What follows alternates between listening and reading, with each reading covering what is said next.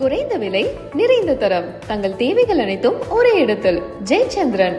இனி summer holidays கண்ணு.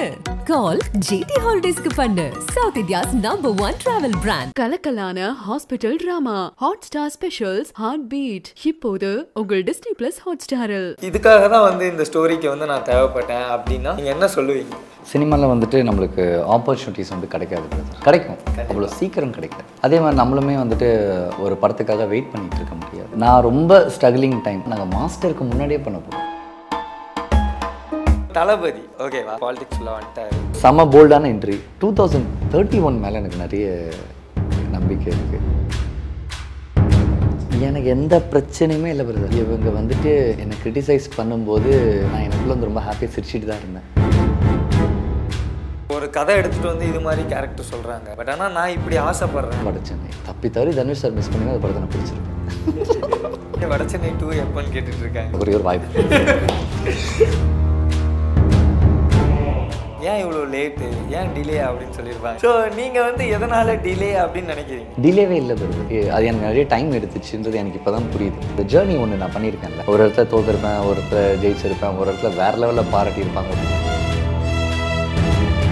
வாழ்க்கை ஒரு மட்டும் தான் ஜெயிப்பான் ஜெயிக்கிறவன் தோக்கும். இந்த டைலாக் எனக்கு ரொம்ப பிடிக்கும். ஏன்னா சக்ஸஸ் வந்து உங்களால் டிசைட் பண்ணவே முடியாது. அது வரும் போகும். வரும்போது பிடிச்சிக்கிட்டா அது நம்ம ரொம்ப மேலே போகலாம். விட்டுட்டோம்னா திருப்பியும் ஒரு டைம் எடுக்கும்.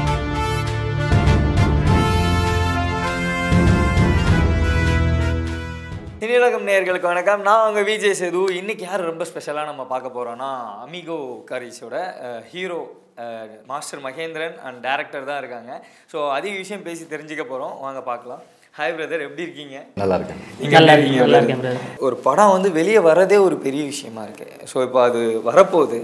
So how do you feel என்ன அப்படின்னா இது ஃபஸ்ட்டு ஒரு எங்களுக்கு இந்த ஃபிலிமே ரொம்ப ஸ்பெஷல் ஏன்னா மொதல் படம். ஸோ நாங்களே வந்து ஃப்ரெண்ட்ஸ் எல்லாம் சின்ன சின்னதாக சேர்ந்து ஒரு ஆரம்பித்து இன்றைக்கி வந்து ஒரு பெரிய படமாக இன்றைக்கி லைக் நாங்கள் உள்ளே வரும்போது நாங்கள் யோசித்தது வேறு. அப்புறம் அந்த ப்ராஜெக்ட்டுக்கு என்னென்ன தேவை இருந்ததோ அது எல்லாமே நாங்கள் கொடுக்க ஆரம்பித்தோம் இன்றைக்கி வந்து அது ஒரு பெரிய படமாக வந்து நமக்கு ப்ராஜெக்ட் ஆகிருக்கு ஸோ எல்லா விஷயங்களும் அதுக்கு தேவையான விஷயத்த எல்லாமே பண்ணியிருக்கோம்.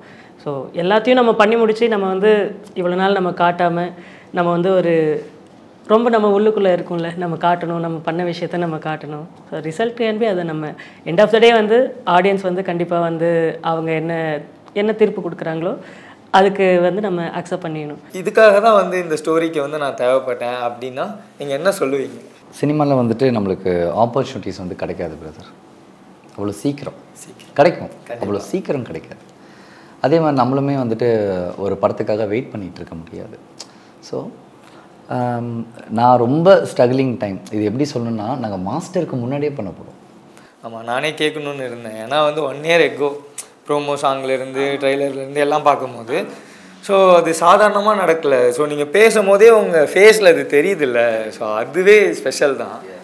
இவன் என்னை நம்பினா நம்பி சொல்லும்போது ஒரு சின்ன பைலட்டாக தான் பண்ணலான்னு சொன்னான். இதுக்கு முன்னாடி அவன் பண்ண ஒரு சின்ன பைலட்டையும் நான் பார்த்துருக்கேன். லைக் பைலட்னு சொல்ல முடியாது டுவெண்ட்டி ஃபைவ் மினிட்ஸ் இருக்குமாடா? ஆக்சுவலி இன்டர்நேஷ்னல் ஃபிலிம் ஃபெஸ்டிவல் ஜானரில் வந்து நம்ம ஏதாவது ஒரு ரா இன்ட்ரெஸ்டிக்காக ஏதோ ஒரு ஒரு ஜானரில் ஒரு ஒரு டியூரேஷனில் ஒரு ப்ராஜெக்ட் பண்ணாப்புல. யூ டோன்ட் பிலீவ் ரெண்டே லைட்டில் எடுத்திருந்தாப்புல. சூப்பராக எனக்கு ரொம்ப பிடிச்சது. எப்போவுமே வந்து இந்த ஆடியன்ஸ் என்டர்டெயின் பண்ணுறவங்க வந்துட்டு அவங்க பெரிய ஸ்டார்ஸாக இருக்கணுன்றது அவசியம் இல்லை. பெரிய கேமராமேனாக இருக்கணுன்றது அவசியம் இல்லை. பெரிய டைரக்டராக இருக்கணுன்றது அவசியம் இல்லை. பெரிய ப்ரொடக்ஷனாக இருக்கணுன்றது அவசியம் இல்லை. அவங்களை என்டர்டெயின் பண்ணணும். அதுதான். For example Manjummel boys. ஓ இல்லையா? ஸோ ஆடியன்ஸை நம்ம என்டர்டெயின் பண்ணணும். ஒரு ஒரு ஒரு விஷயத்தை அவருடைய விஷயத்தை வந்து அவருடைய விஷனை காமிக்கணுன்றது தான். அவருக்கு இருந்ததுலேயே அவர் சூப்பராக காமிச்சார். எனக்கு என்னென்னா ஓகே நம்மளை நம்பி வந்திருக்காரு. ஆ சரி. ஊரே கண்டிப்பாக சொல்லியிருக்கோம் அவங்ககிட்ட ஏன்ப்பா அவர்கிட்ட போகிற அவருக்கு மார்க்கெட்டே கிடையாது. என்னப்பா அவருன்னு சொல்லியிருப்பாங்க கண்டிப்பாக சொல்லியிருப்பாங்க அவங்ககிட்ட ப்ரோ இந்த படத்தில் எல்லா ட்ராக்கையும் இவன் தான் பாடியிருக்கான் எனக்கு. அண்ட் இவன் வாய்ஸ் ரொம்ப நல்லா இருக்குன்னு மியூசிக் டைரக்டர் தம்பி நீ பாடியே ஆகணும்னு சொல்லி இவன் இன்ட்ரோ இன்ட்ரோடியூஸ் வேறு பண்ணியிருக்கோம் நாங்கள் இந்த படத்தில் சிங்கராக ஆமாம் இந்த படத்துலேயும் ஒரு லைன்ஸ் ப்ரோ சிங்கர் அவன் எல்லாமே ப்ரோ பயங்கர ஹைலி டேலண்டட் அவன் சினிமாவை தேடி வந்தது எனக்கு ரொம்ப ஹாப்பி இது ஒரு பயங்கரமான ஒரு ப்ரொஃபஷன் இல்லையா? ஆர்ட் இல்லை. பாடுப்பா ரசா. என் படத்தில் நான் பாடின ட்ராக்கே பாருங்க. பறக்கும் பறவையை போலே சிறகை வெறிக்கலாம். விடியும் விடியலை தேடி நாளும் மூடலாம். மாற்றம் காணும் நேரம் வழி முன்னே தோன்றுதே. வாழ்வு மாறும் நேரம் வழி தூரம் போகுதே. லைன்ஸும் வந்து பயங்கரமாக கனெக்ட் ஆகுது.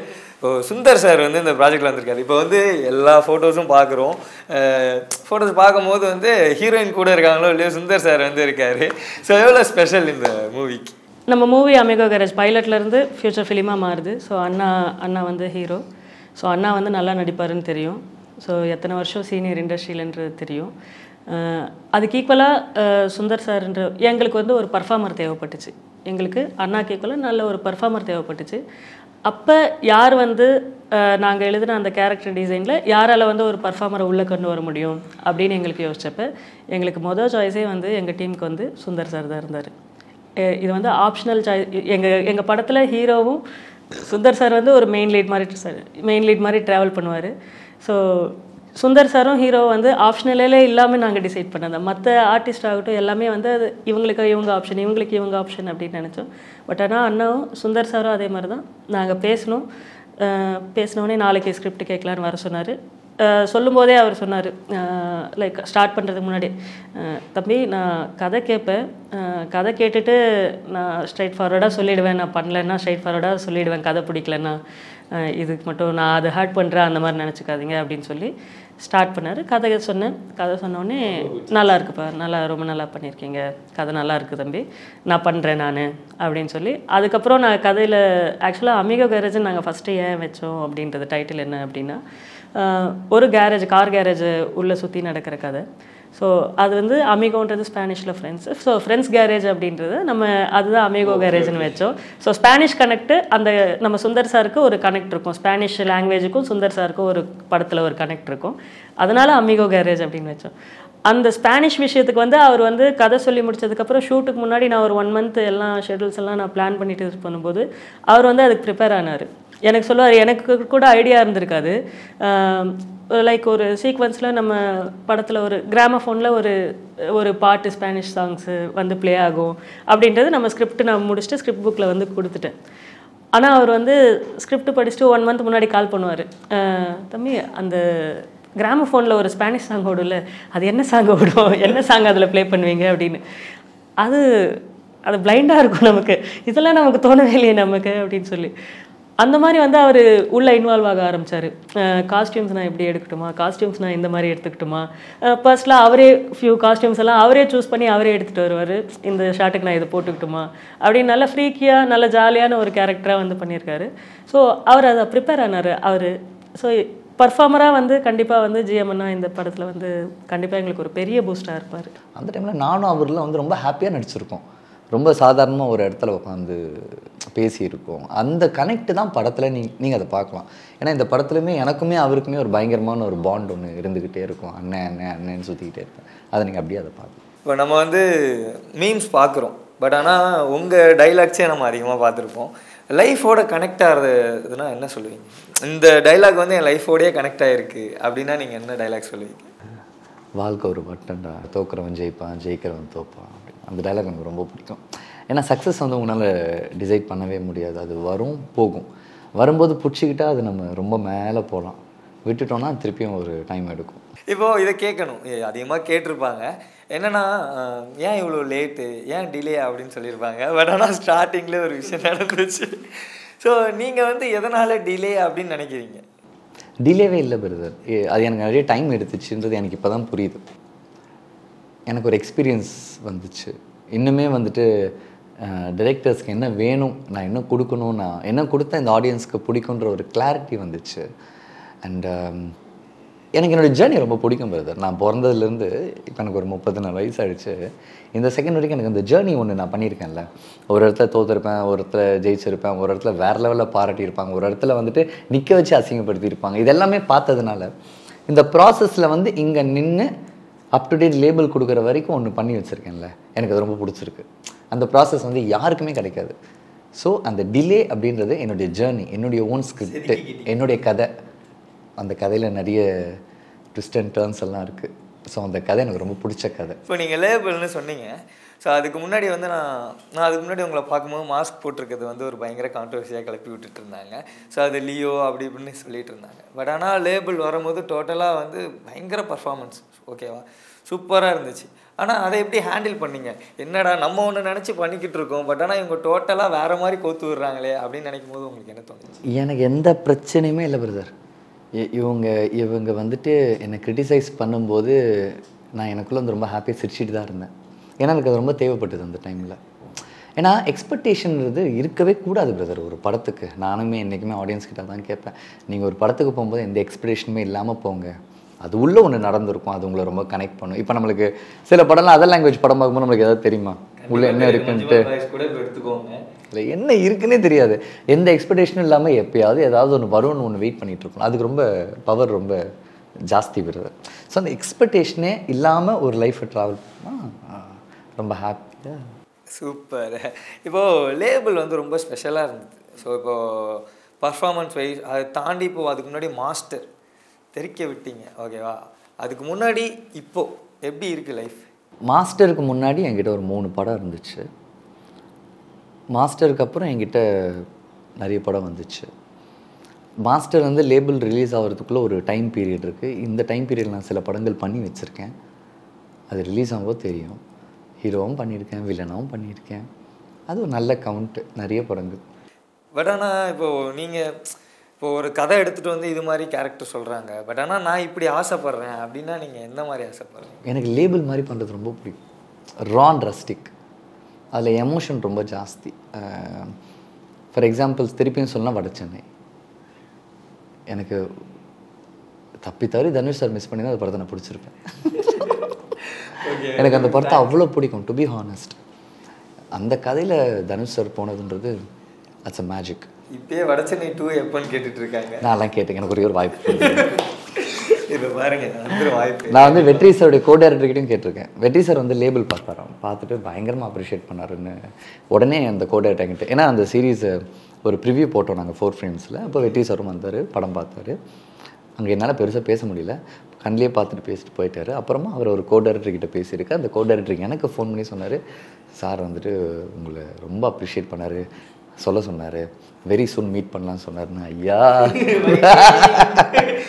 ஏன்னா ஏன்னா எல்லா எல்லா ஆக்டருக்குமே ஒரு ட்ரீமுங்க அது வெற்றி சாராக இருக்கட்டும் பிரசாந்தாக இருக்கட்டும்.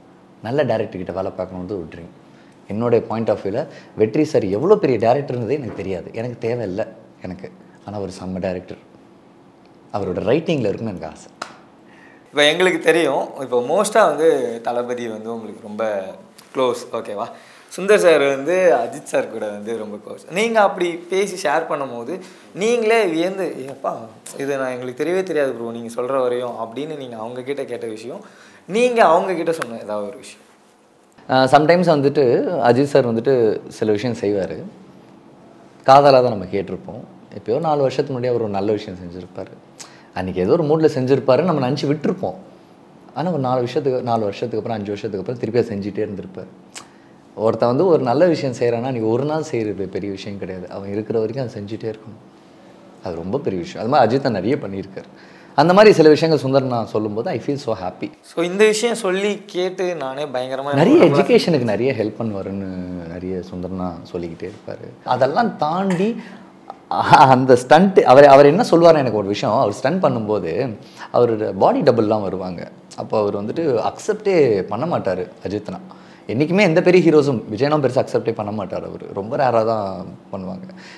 அஜித்னாலாம் வெரி பேடு அந்த விஷயத்தில். ஏன்னா உடம்பு ஃபுல்லாக ஃப்ராக்சர்ஸு பேக்கு கீக்கு எல்லாமே காலு கீழ் எல்லாமே ஃப்ராக்சர்ஸு இதெல்லாம் தாண்டி வேற ஒருத்தர் பண்ணி அவங்க அவங்க ஆடியன்ஸ் நான் பண்ணுறாங்கன்னு நினச்சி அவங்க அந்த கைத்தட்டல் எனக்கு கொடுக்கறதுக்கு அதை நானே பண்ணிக்கிறேன்னு அது சூப்பர் ஏன்னா ஹீரோ இல்லை. ஹீரோனா ஹீரோ தான் பண்ணணும். நானுமே பெருசாக என் படத்தில் வந்து ஃபைட்ஸ் எல்லாம் யாரையுமே நான் லவ் பண்ணவே மாட்டேன். என்னோட பாடி டபுள்லாம் நான் லவ்வே பண்ண மாட்டேன். நானே பண்ணுறேன் நானே வாங்கிக்கிறேன் அப்படின்னு. அது ஒரு பண்ணிகிட்டே இருக்காரு. இதெல்லாம் வந்துட்டு நிறைய ஜிஎம் நான் சொல்லுவேன் ஆனால் இப்போ வந்து உங்களுக்கு உடம்பு சரியில்லை அப்படின்னு சொல்லிட்டு பயங்கரமாக ஒன்றுமே கிடையாதாமே ஏதோ பாடி செக்கப்பாமே என்ன? இப்படி தான் வந்து போட்டிருக்காங்க. ஆனா பட் ஆனா இப்போ இன்னைக்கு காலைல சொல்லும் போது ஏதோ சம்திங் மூளையில கட்டி இருக்கு. அதெல்லாம் போட்டுட்டு இருக்காங்க அது ரூமர்ஸா இல்லை உண்மையா? ஏன்னா நீங்க பர்சனலாக அதிக பேர்கிட்ட கேட்டிருப்பீங்கல்ல. இல்லை டு பி ஹானஸ்ட் நேற்று கேட்குற வரைக்கும் அவருக்கு ஏதோ பாடி செக்அப்னு சொன்னாங்க. அவ்வளோதான் இப்போ நீங்கள் ஒன்று சொல்கிறீங்க ஸோ நீங்கள் சொல்கிறது நான் கேட்க மாட்டேன். நான் பார்த்ததும் கேட்க மாட்டேன். அவரோட ஃப்ரெண்ட் ஒருத்தர் இருக்கிறாரு. இன்டர்வியூ முடிஞ்சோன்னா அவர்கிட்ட என்ன முடிஞ்சோன்னு இப்போ கேட்டு சொன்னாதான் வந்து viewers கண்டிப்பாக நான் சொல்லிடுவேன் அவ- இப்போவே கேட்குறேன். இன்டர்வியூ முடிஞ்சோன்னா அவர்கிட்ட நான் ஃபோன் பண்ணி கேட்டுருவேன். இப்போ தளபதி. ஓகேவா இப்போ வந்து பாலிடிக்ஸ் உள்ள வந்துட்டாரு. ஸோ அதை நீங்கள் எப்படி பார்க்குறீங்க செம்ம போல்டான entry two thousand thirty one மேலே எனக்கு நிறைய நம்பிக்கை இருக்குது ஏன்னா இப்போ வர எலெக்ஷன்ஸ் ரொம்ப பக்கத்தில் இருக்குது இங்கே ரொம்ப பெரிய ஆளுங்களாக இருக்காங்க. பெரிய பெரிய பாலிட்டிஷியன்ஸ் பாலிடிக்ஸ்னு என்னென்னு தெரிஞ்சவங்களாம் இங்கே நிறைய பேர் இருக்காங்க. பெரிய பெரியவங்களாம் இருக்காங்க. இவங்களெல்லாம் தாண்டி அண்ணன் வரணும் அப்படின்னா it's out of love and trust அண்ணன் அண்ணனை ப்ரூவ் பண்ணுறதுக்கு இப்போ இருக்கிற டைம் ரொம்ப கம்மி. இது என்னுடைய பெர்ஸ்பெக்ஷன் தான். என்ன எனக்கு எனக்கு என்ன தோணுதோ அதான் நான் சொல்கிறேன் இது வந்துட்டு நான் பெரிய எனக்கு டைம் ரொம்ப கம்மி. தேர்ட்டி ஒன் அவருக்கு செம்மையாக இருக்கும்னு நினைக்கிறேன். ஏன்னா அவருக்கு ஒரு டைமும் வேணும் இல்லை அவர் யாருன்னு காமிக்கிறதுக்கு ஒரு டைம் வேணும் இல்லை எங்கள் சினிமாவில் இருக்கிற நிறைய பேருக்கு அவர் யாருன்னு நல்லாவே தெரியும். ஏன்னா இங்கே தான் அவர் வேலை செஞ்சுருக்காரு. இங்கே தான் அவர் வாழ்ந்திருக்காரு. இங்கே தான் அவர் சம்பாதிச்சிருக்காரு. பணமாக இருக்கட்டும் பேராக இருக்கட்டும் புகழாக இருக்கட்டும். இப்போ இதை அப்படியே பாஸ் பண்ணி பாஸ் கூட தெரியல. ஆக்சுவலி நீங்கள் பாஸ் தான் பண்ணணும். ஸ்டாப்லாம் பண்ணக்கூடாது. இதை அப்படியே பாஸ் பண்ணி இப்போ பாலிடிக்ஸ் போகிறாரு இது வேறு உலகம் வேறு வேர்ல்டு இது டோட்டலாக வேறு. இங்கே அவர் எப்படி? டு பி வெரி ஹானஸ்ட் ஒரு புது படத்தை ஒரு புது ஹீரோக்கு வரும்போது என்ன ஒரு ப்ரெஷர் இருக்குமோ இப்போ அண்ணன் பாலிடிக்ஸ் வரும்போது அங்கே ஒரு புது ஹீரோ அவருக்கு அந்த ப்ரெஷர் இப்போ அங்கே இருக்கும். ஏன்னா அவரோட பெரிய ஹீரோஸ்லாம் இருக்காங்க. இப்போ வந்து இந்த படம் வந்து மிஸ் பண்ணாமல் இந்த ஒரு விஷயத்துக்காக பார்க்கணும் அப்படின்னு நீங்கள் ஆடியன்ஸ் கிட்ட சொன்னீங்கன்னா என்ன சொல்லுவீங்க? படம் கிளைமேக்ஸ் முடிச்சுட்டு வரும்போது பர்சனலாக எல்லாரோட லைஃப்லேயும் ஒரு கனெக்ட் ஆகிற விஷயம் இருக்கும். அது கண்டிப்பாக படத்தில் இருக்கும். அது நீங்கள் நீங்கள் வந்து வெளியே வரும்போது நீங்கள் கண்டிப்பாக படத்தில் கனெக்ட் ஆகிட்டு வருவீங்கன்ற ஒரு ஹோப் கண்டிப்பாக இருக்குது அந்த விஷயத்துக்கோசரம் கண்டிப்பாக நீங்கள் பார்க்கலாம். ஸோ உங்களுக்குள்ளே இருக்கிற ஒரு கதை தான் அமிகோ கேரேஜ் இது வந்து ஃபிக்ஷனான விஷயம் இல்லை. என்னை சுற்றி என்னை சுற்றி நடந்த கதை அது எல்லாரை சுற்றியும் நடந்திருக்கும். ஸோ நம்ம பர்சனலாக படத்தோட கனெக்ட் ஆகும்ன்ற நம்பிக்கை எனக்கு கண்டிப்பாக இருக்குது கண்டிப்பாக பாருங்கள் டிசப்பாயிண்ட் ஆக மாட்டீங்க. கண்டிப்பாக வந்து ஒரு ரெண்டு மணி நேரம் வந்து உங்கள் டைமை வந்து நான் கண்டிப்பாக வேஸ்ட் பண்ண மாட்டேன். சூப்பர் ப்ரோ இப்போ நீங்கள் வந்து ஸ்பெஷலாக சொல்லிடுங்க படம் வந்து இவ்வளோ ஸ்பெஷல் இதுக்காக கண்டிப்பாக நீங்கள் பார்க்கணும் அப்படின்னு வந்து ஒரு ஆடியன்ஸ் கிட்ட வந்து ஒரு ஃபியூ வேர்ட்ஸ் நான் இவனை நம்பினேன்ல. அதே மாதிரி நீங்களும் இவனை நம்பி வாங்க. உங்கள் வீட்டில் இருக்கிறவங்க அஞ்சு பேர் நீங்கள் வர முடியல கூட ஒருத்தர் வாங்க. இதை விட நான் என்ன நான் சொல்ல முடியும் ஆடியன்ஸுக்கு இல்லை சொல்கிறேன் நான். இஃப் அஞ்சு பேரும் பிஸியாக இருக்கீங்கன்னா ஒருத்தர் வாங்க. உங்களுக்கு டைம் இருக்கும்போது வாங்க. நிறைய நாள் நீங்கள் வந்துட்டு வெயிட் பண்ணி வந்தீங்கன்னா நாங்கள் சின்ன படம். நிறைய ஷோஸ் தேட்டர் இஷ்யூஸ் அந்த மாதிரி. ஆ ஸோ இருக்கும்போது வாங்க. நான் இவனை நம்பி இருக்கேன். அதே மாதிரி நீங்களும் ஒரு வாட்டி நம்பி வாங்கலேன் குறைந்த விலை நிறைந்த தரம். தங்கள் தேவைகள் அனைத்தும் ஒரே இடத்தில். ஜெயச்சந்திரன். இனி சம்மர் ஹாலிடேஸ் கண்ணு. கால் ஜிடி ஹாலிடேஸ்க்கு பண்ணு. South India's number one travel brand கலக்கலான hospital drama Hotstar specials heart beat இப்போது உங்கள் டிஸ்னி பிளஸ் ஹாட் ஸ்டாரில்